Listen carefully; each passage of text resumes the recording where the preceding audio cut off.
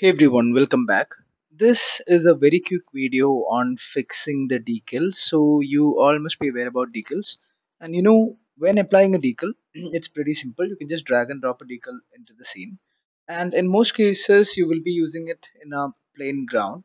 Suppose if you want to use it on a vertical ground, okay, just move the decal over here and you can see that the decal is getting scattered as soon as it is moving towards a vertical wall okay so how do we fix this? It's actually a very quite it's a very simple way of fixing it. There is a very simple way.